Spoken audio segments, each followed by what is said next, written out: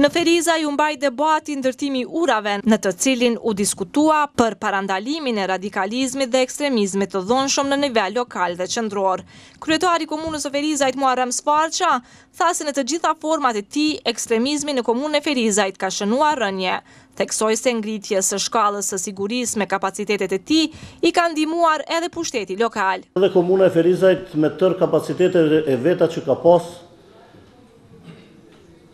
ka kontribuar në rritjen e shkallës së sigurisë së përgjithshme, duke bërë madje edhe investime, investime të rëndësishme edhe infrastrukturore për çështje të sigurisë. Kur jemi këtu, unë kam rastin në veçanti të konstatoj që investimet që janë bërë për vëzhgimin 24 orësh të lëvizjeve qytetare në tërë komunën e Ferizajt përmes kamerave kanë treguar që kanë qenë investime me efekte tepër të rëndësishme,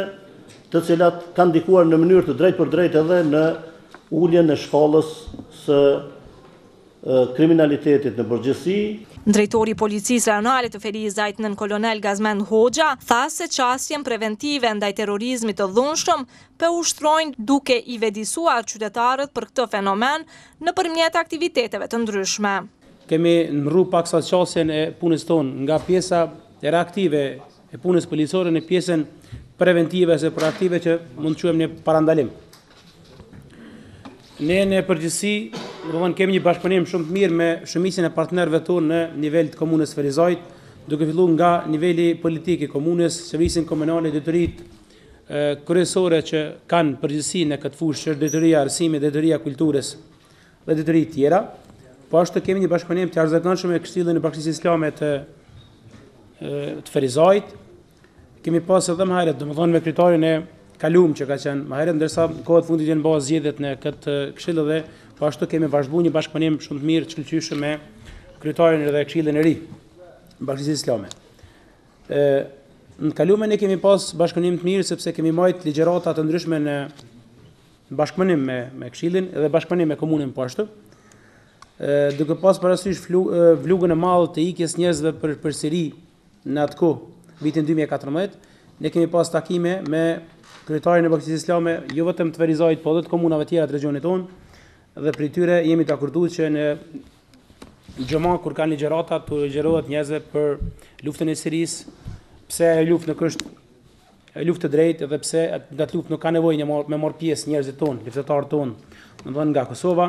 edhe këto ligjërata mund të jenë mbajt për një kohë të gjatë nëpër bashkësitë, nëpër xhamitë tona.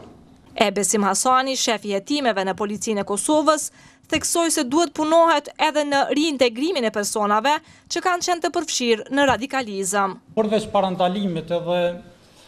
të hershëm të ekstremizmit, duhet Të fokusohemi edhe në deradikalizimin edhe reintegrimin e personave të cilët kanë qenë të radikalizum edhe me kohën ose me mundësi duke bisedu me ta që ata persona t'ju kthehen jetës normale dhe t'ju japet një mundësi e re